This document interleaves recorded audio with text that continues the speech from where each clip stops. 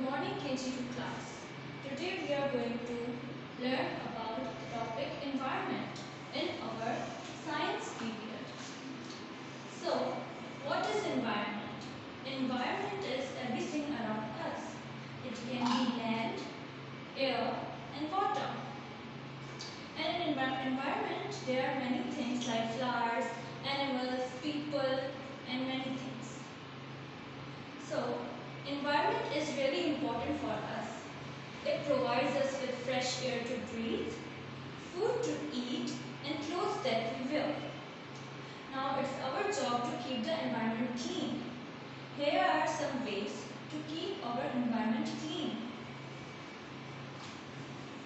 Number one, we should keep our house clean. Number two, we should use cloth bags instead, instead of plastic bags. Number three, we should plant trees. And number four, we should throw rubbish in the dustbin. I hope you will understand